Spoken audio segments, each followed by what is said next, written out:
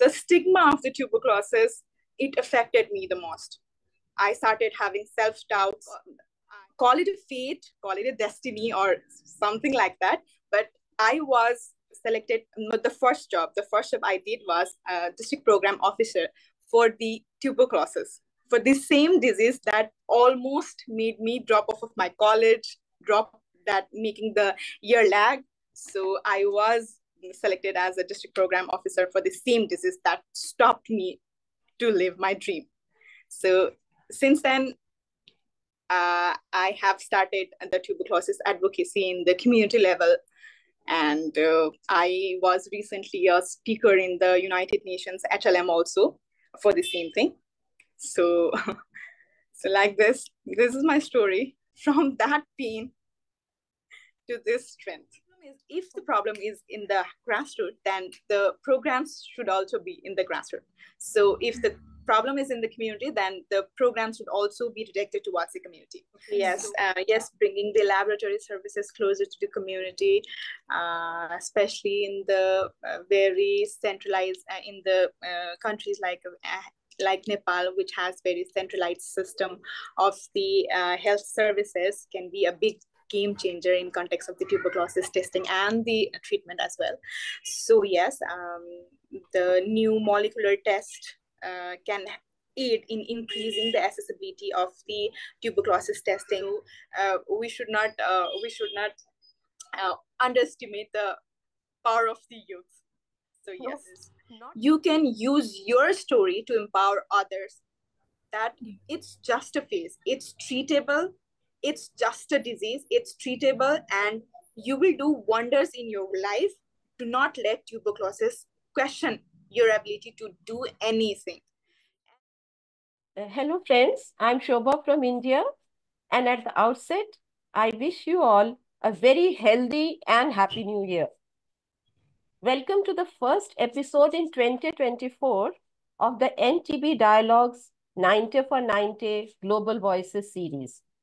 This series presents insights from those on the for, from those on the forefront of fighting TB to help accelerate progress towards the goal of ending TB by 2030. This year, we will be focusing on the theme of Find All TB to Stop TB. As early and accurate diagnosis of every person with TB is a critical entry gate to the TB care pathway, as well as to break the chain of infection transmission. Our special guest for today is Binika Shrestha from Nepal. Binika is not only a TB survivor, but is also an activist who is championing efforts to make TB programs people-centered and inclusive. Welcome, uh, Binika. Thank you, ma'am. And today's is a special episode where Binika will be in conversation with me and my dear friend, with me and my dear friend Kalpana Acharya, a very senior journalist from Nepal. Kalpana is editor-in-chief of Health TV Online Nepal and is former president of Nepal Health Journalists Forum. She is also on the board of Global AMR Media Alliance, that is Antimicrobial Resistance Media Alliance, and Asia Pacific Media Alliance for Health and Development. Welcome, Kalpana. I'm so happy you are, you are here on the show with us. Uh, okay, in the start, Binika, can you please share your journey from pain to strength, as you call it, in your fight against tuberculosis? Yeah, sure, ma'am. So, hello everyone. My name is Binika Shrestha and I'm from Nepal. Uh, it is the let, let me you to the roller coaster ride that I have suffered and excelled from. So I was 18. I was, uh, I had uh, recently, at that time, I had recently uh, got into a bachelor's college for the bachelor's degree. And uh, it was quite exciting, new place, new people, and uh, everything new.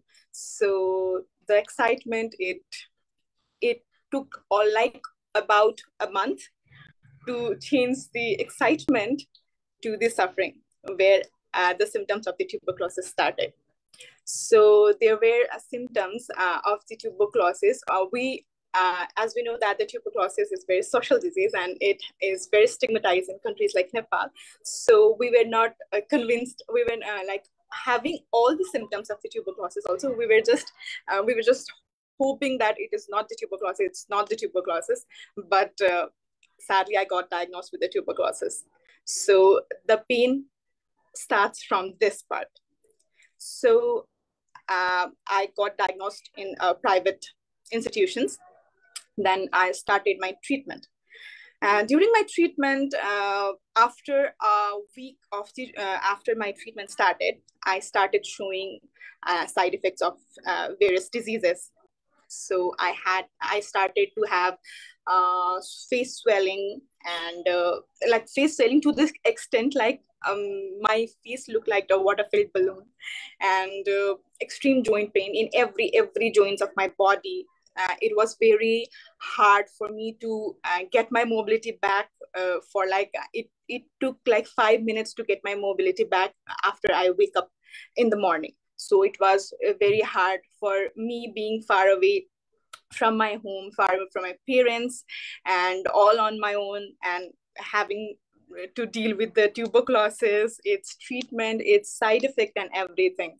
And uh, for one month, uh, for the uh, for the initial one month, I I could not go to college, so my studies was also hampered. So the main uh, these all were just the physical things, but the uh, mental problems started when uh, that the fear of uh, people getting to know about my tuberculosis, me getting diagnosed with the tuberculosis was very evident in my parents' suggestion of uh, suggestions to me and not to share about the exact cause of the health problems, not saying tuberculosis, but just saying chest infections and everything. So the stigma of the tuberculosis, it affected me the most. I started having self-doubts, I I kept it a secret for quite some time with my friends also. I just labeled it with chest infections. So uh, it was very hard for me to deal with everything and not uh, being able to share these things as I was living in the hostel. So the first initial month when I was in the uh, when I was here in my hometown, it was quite bearable due to my, because of my support and because of the support of my parents. But uh, afterwards i started my my parents they also suggested me suggested me to drop off of the college because i was very unwell. The side side effects were so severe that i could not walk for one minute in the street places like uh, just leave the staircase using the staircases and all. It would take quite a long time for me to uh, work for the very short duration also. So still i persisted like i was not that it was very hard for me to give up the college that i have worked for so hard for.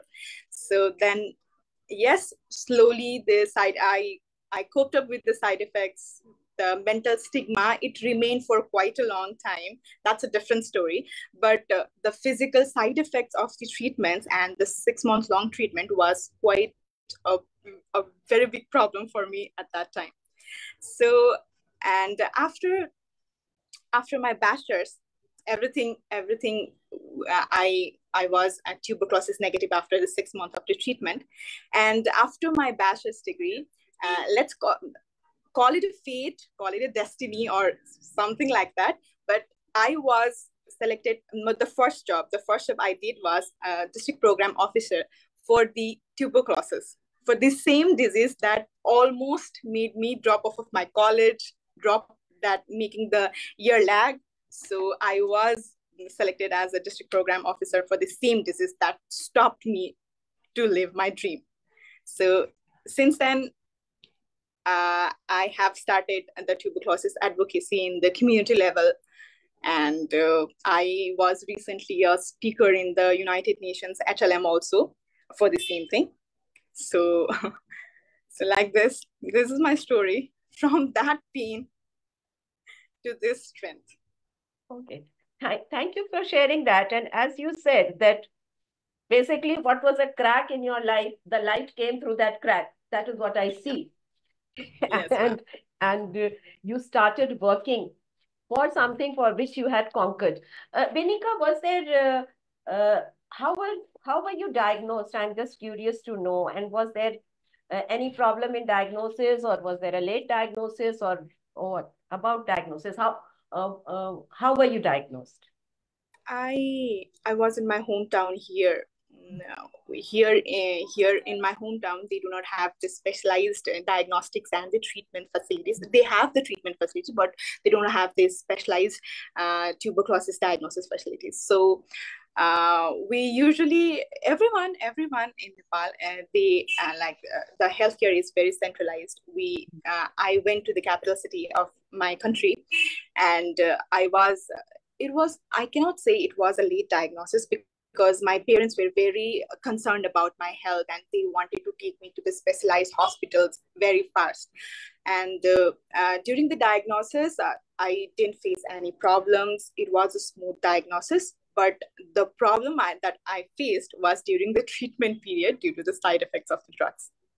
Okay but what tool was used what was the diagnostic test which they used? Uh, uh, uh, uh I had an X-ray, and then I did Mantoux test, mm-hmm. and after all these tests, um, the doctor like it was I was tuberculosis positive. Okay.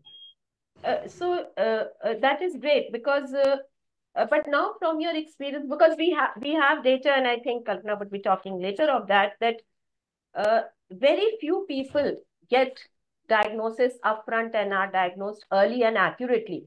So from your experience as a TB survivor and more so as a TB advocate, and uh, you are working in that field, uh, have you come across people and what has been the impact due to late diagnosis of TB on a person? Is it important to have upfront, early and accurate TB diagnosis? From your experience, what do you have to say to that? Thank you for the question, ma'am. Uh, yes, uh, the late diagnosis of the tuberculosis have can have significant effects in the person's health and overall quality of life. Not I I can't say just in his or her health, but overall health of the family and the community.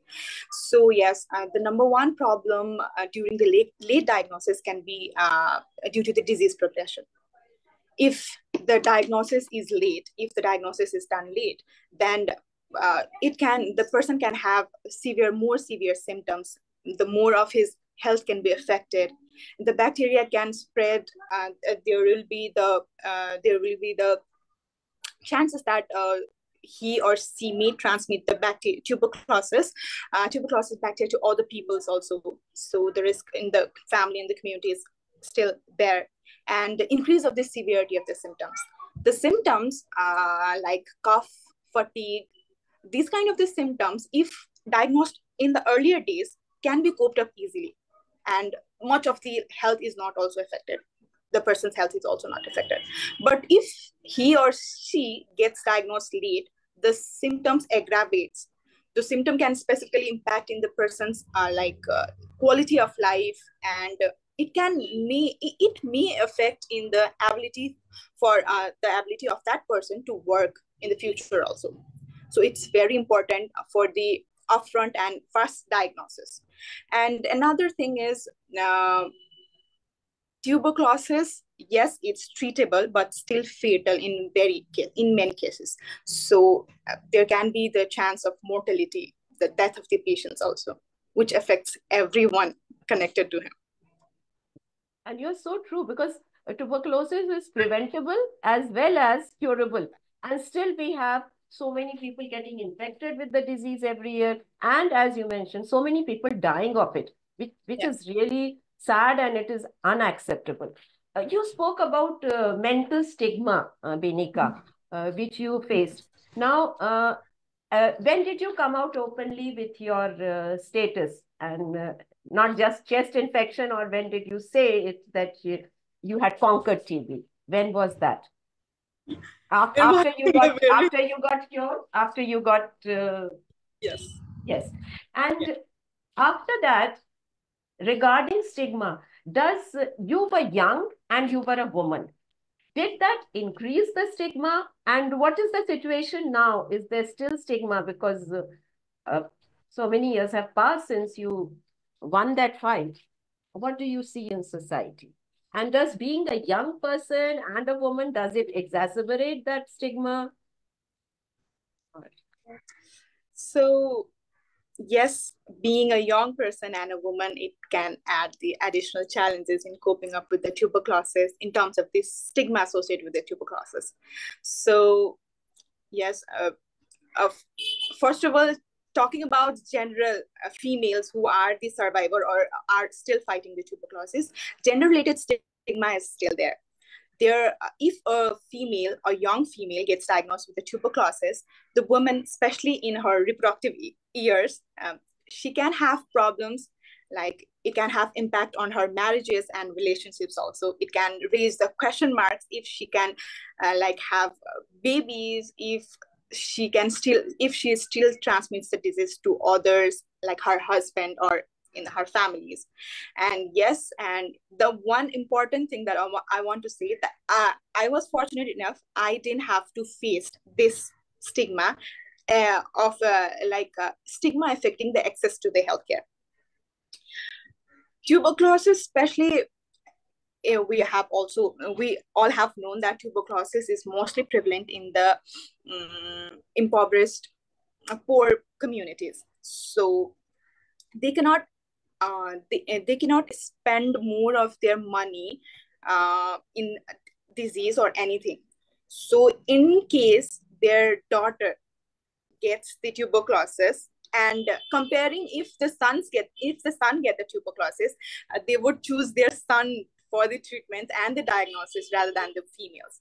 And yes uh, it can have a, a lifelong question mark uh, in the woman's like ability to do anything like if she had or she have or had tuberculosis.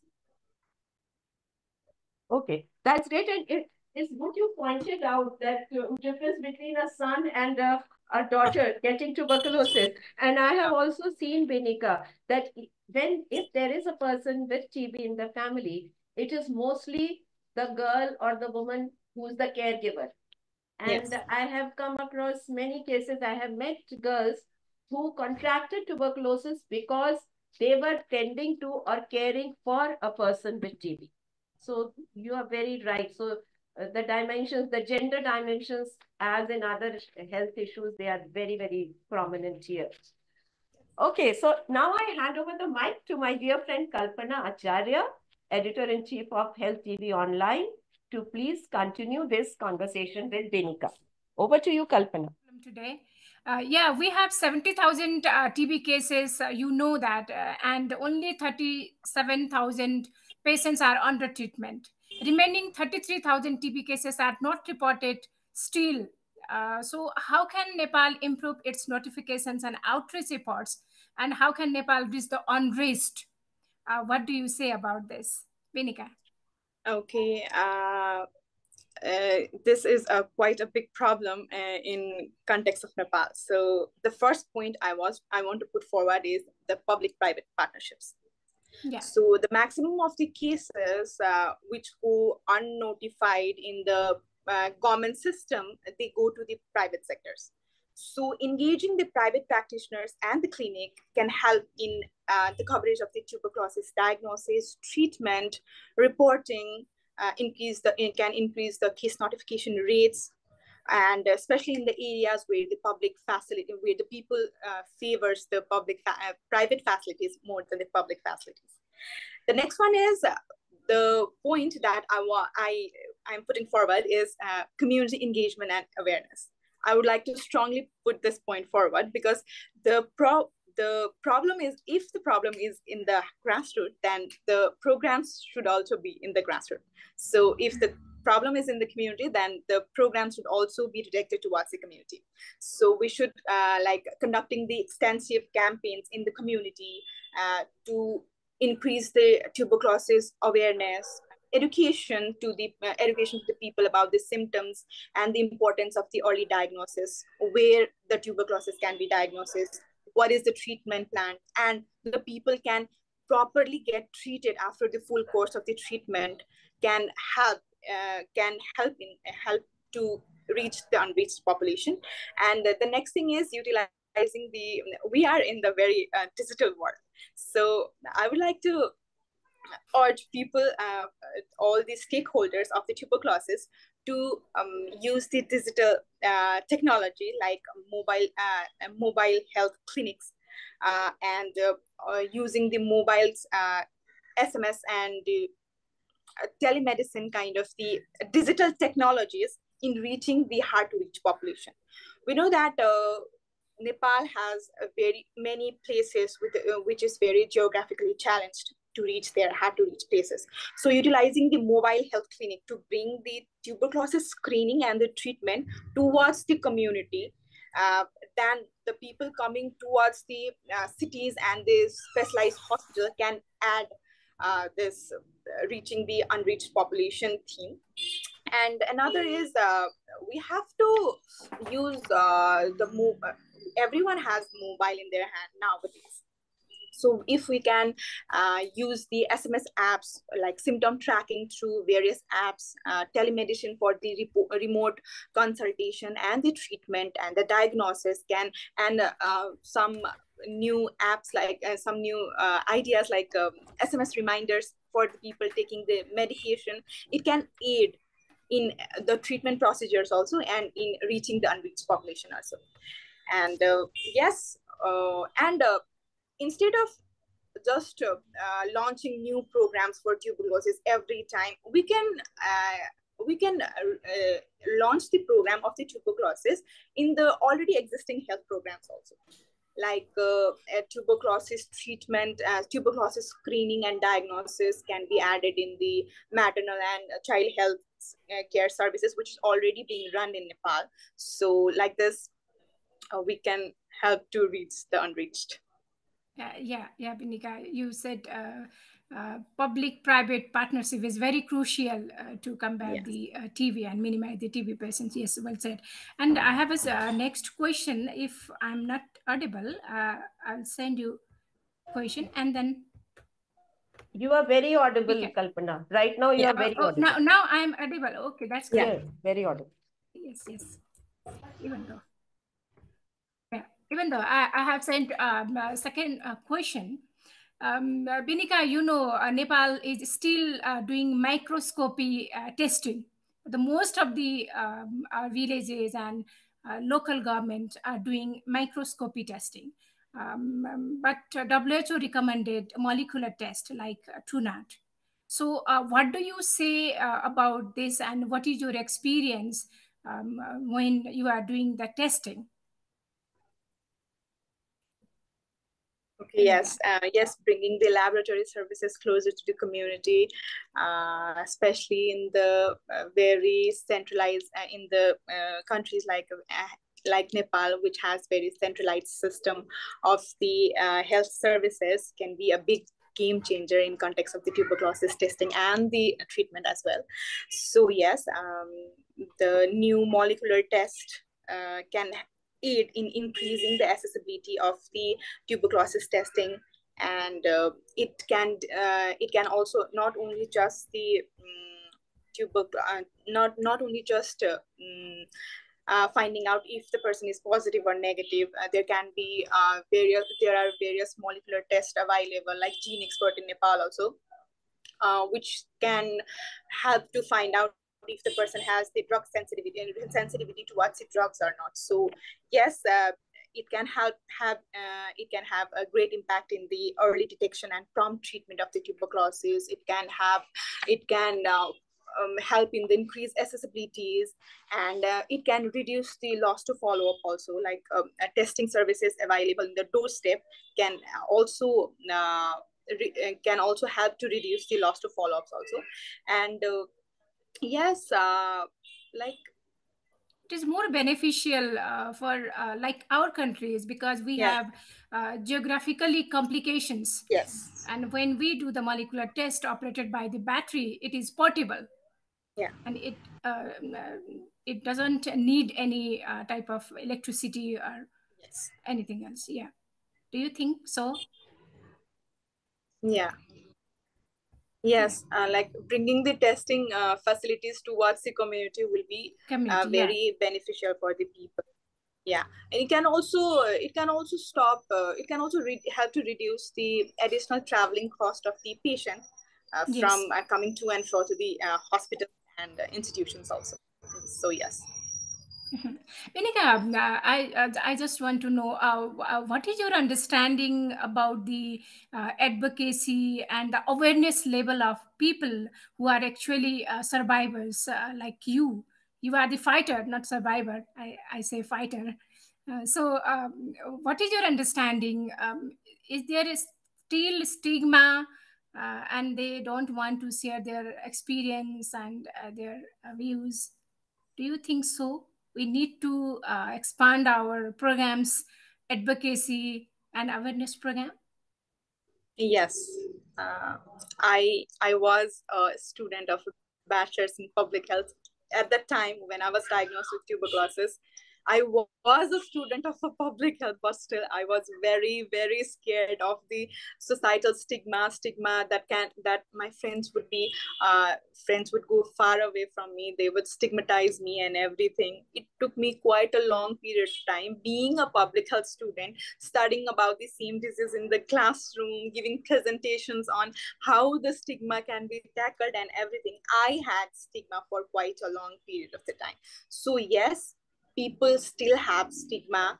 And uh, not only the societal stigma, talking about the survivors, the self stigma is also a big challenge to, to be tackled. And uh, uh, from the background that I, I am, I am a public health student. I am quite aware about the tuberculosis, but not everyone. Like in context of Nepal, many people they they have been treated from the tuberculosis, but they are not still aware of the tuberculosis. Somehow, uh, just the diagnosis and the treatment is just not enough during Mhm. for the tuberculosis. The counseling, the education, the awareness of the tuberculosis must be a very strong agenda. Yeah, yeah, very good. Yes, well said. And uh, what do you think? Um, is there any uh, role of media? Do you think uh, there is a role of media to uh, create awareness about the TB um, cases and about the treatment and awareness part? Yes, media is a backbone for the country, one of the strongest pillar of the country. So yes, media can do millions of miracles in every kind of disease, especially stigmatized disease like tuberculosis. So yes, uh, like I I hope that I will be uh, able to empower one tuberculosis survivor to put forward the story by looking at this uh, interview. So yes, media can do wonders. Not only this, media can help in uh, like you you are running a health show. So yes, um, including the tuberculosis related topics. It's uh, various aspects of the tuberculosis, how people are affected by the tuberculosis. It's prevention to every treatment. If you are able to share it with the people and uh, like the craze of social medias and medias in today's world can do wonders for the tuberculosis. Yeah, Well, well, uh, Binika, um, Shobhaji, uh, do you have uh, more questions? Yeah, over to Yes, you. I, uh, uh, another question, some reflection also. Uh, Kalpana talked about media engagement. Now, I'm asking Binika about youth engagement and what can the youth do to help fight TB? And as Kalpana mentioned earlier, and Binika, as you know, very often we talk of so many million people missing TB cases. People miss people with TB are missing. I don't think people with TB are missing. We are failing in finding them.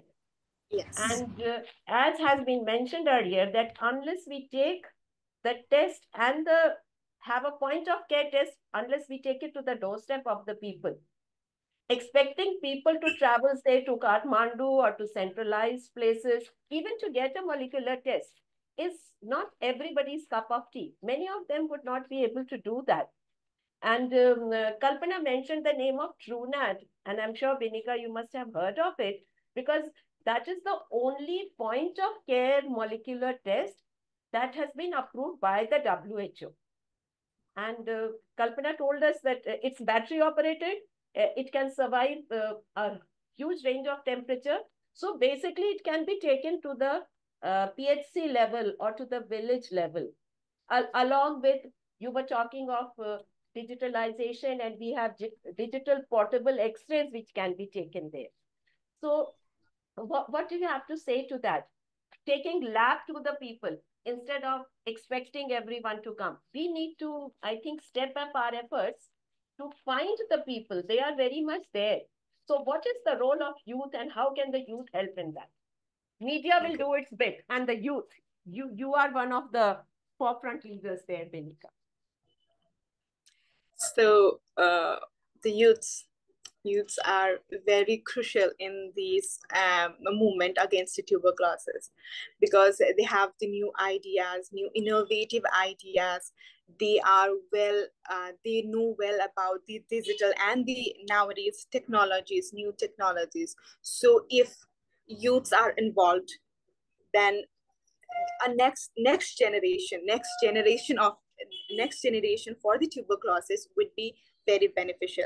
Because uh, because youths they are more energetic they have more ideas and they can utilize these technologies for the tuberculosis. Be it for awareness be it for awareness about the treatments be it about the uh, uh, for the uh, awareness about the prevention and uh, like breaking the taboos of the tuberculosis uh, using the digital technologies. And also youths are the future. They will they will go they will study they will have job in every aspect. If the tuber if the youths are involved in the tuberculosis then every aspect like the collaboration the problems in the collaboration it can be tackled. And uh, youth groups can really do wonder in the tuberculosis. Uh, there are various youth uh, youth groups in nepal also they're working for the tuberculosis day and night. They are um, launching new and new programs. They are doing advocacy in the government level also. Being just so, uh, we should not uh, we should not uh, underestimate the power of the youth. So yes.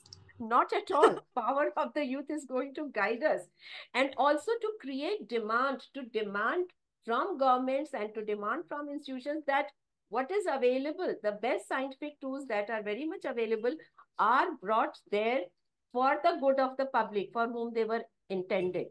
And in a way, reduce that health inequity, that those tools should not be there in the big hospitals or the central laboratories, but they should be there. And I think that demand should yeah. come from the community and the youth yeah. can play a great role there. So we are very energized uh, talking to you, Binika, one of our youth leaders today. So uh, thank uh, uh, Kalpana. Anything else from your side? Yeah, uh, um, Binika, um, where are you from? I'm, uh, I'm from asking Hetauda. personal question. I'm from Hetauda. Hetauda. Hetauda. Okay, okay. My hometown is Hetauda. Okay. Now, nowadays you are in Hetauda. Yes. Okay, working there. Uh, I'm doing my internship. Okay. Okay, that's great. Uh, so, uh, uh, Binika, uh, what do you want to say um, uh, to the youths like you who are uh, still in stigma? Still, they um, are not um, coming from the um, this stigma. So, what is your key message to those people who are actually survivors, but they still don't um, want to come out? So, yeah, just wrapping up this interview and especially in terms of the uh, speaking on the behalf of various uh, tuberculosis survivor especially in the nepal uh, it took me quite a long period of the time uh, being a student of the public health also so yes you can take a considerable amount of the time but you should not uh, no one no tuberculosis survivor should ever feel self-stigmatized about this. Like you should not question about your ability to do anything. Like uh, the tuberculosis survivor are very uh, they are very scared of uh, they are scared of other people knowing about their disease but the mental anguish that they go through is also a big thing. So you have to you should not question yourself question your ability just because you acquired tuberculosis which can be treated. And uh, if take a considerable amount of the time but once you bounce back to the life once you bounce back you have to start awareness of the tuberculosis especially in those communities where it's lacking. So you can uh, you can do it in your own home also familiarizing uh, like uh, familiarizing your families your relatives and your community member to uh, regarding the tuberculosis. You can use your story to empower others. That it's just a phase. It's treatable. It's just a disease. It's treatable and you will do wonders in your life. Do not let tuberculosis question your ability to do anything. And uh, and just adding few points like you can just use any media any any medium to just open up towards the people about your story. You can be a support system to some other tuberculosis survivors or who are still fighting the tuberculosis. You can help them. You can help them in regards to the stigma and overall treatment procedure because you have been there. You have the first hand experience of the tuberculosis. Not uh, yes you can you can do the advocacy in the individual level. In any kind of the pro in any program that you go through you can educate or aware your friend circle so that they can be the medium of the change to some other people also. So yes let's not question yourself if you uh, just because you have a mere disease tuberculosis. uh, Binika, uh, uh, I'm just adding one more question. Is it uh, possible to end TB uh, by 2030 in Nepal, do you think? If not, uh, what is your suggestion to government and, um, as you said, public-private partnership? Yes, it like ending to ending tuberculosis is quite a big like ending tuberculosis would be a big achievement but there are various constraints in the road so uh, nepal is improving. Yes nepal is improving. The uh, case notification rates and everything it have been improved from the past years but there are many problems and the achievement is not that much so that the sdgs targets are, are will be going to meet. It won't meet if the same we are tackling the same problem every time. So yes i would like i would like to urge the government to include the people who have survived from the tuberculosis who had the who has the first-hand experience of the tuberculosis because they know where the where the problem is because of their like the felt need and the real need are the different thing. Though so the felt need that the government is thinking can be different from the real need of the people like real need of the people living in the far remote areas of nepal. It can be different. So uh, including their opinions their voice in designing the program in launching the program reintegrating various tuberculosis program it can be beneficial. Another thing is yes public private partnership is very much lacking in country like nepal. Because yes there are many people while i worked also uh, i worked for the public private partnership people usually avoid people, especially in the urban area, they usually avoid going to the uh, government hospitals, uh, government hospitals because of the because it takes too much of the time, because of the uh, uh very long lines and everything, and people having a people like being a, a little if the people are a little bit of well off, they choose the private uh, institution, of course. So the collaboration of the private institution with the public institution can help uh, for the better treatment of the tuberculosis and especially especially the low level of the uh, especially the lower level of the healthcare services like a small pharmacy. Like if the person with a few tuberculosis uh, symptoms uh, can, goes to the um, pharmacy in searching about searching for the cough medication or something the pharmacy people they can advise or counsel the person towards the uh, like uh, you have to test the tuberculosis or for the diagnosis and proper treatment of the tuberculosis in the public in the in the government institution where the proper free services are available. Uh, so uh, it can help in the people in it can help in the in prompt diagnosis of the tuberculosis also and it helps to reduce the treatment expenditure also because it's free in the government institution and it will not be free in the private institution. So yes private um, uh, public private partnership is very crucial for this. And another thing is um, the point that, that i have already um, I have already mentioned uh, this um, integrating the tuberculosis services in the programs which are already being run by government. So changing a little change in the modality can help in the tuberculosis screening in the various level of the populations and the community. And uh, yes, uh, again, uh, youth participation.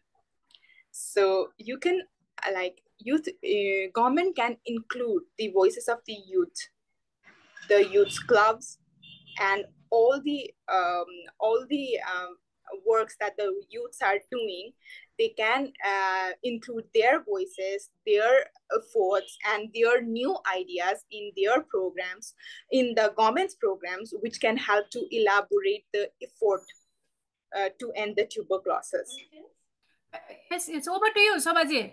thank you thank you binika thank you for sharing your information yes thank you. so so th thank you very much, Binika, for sharing all this information, as Kalpana said, and the, your valuable insights with Kalpana and with me. Because ending TB is not only a public health and human rights imperative, it is also vital to advance progress towards many other goals and targets uh, which are enshrined in the UN Sustainable Development Goals. So goodbye for now and stay healthy and stay youthful and energized till we meet again. Namaste. Thank you. Thank you, everyone. Thank you very much.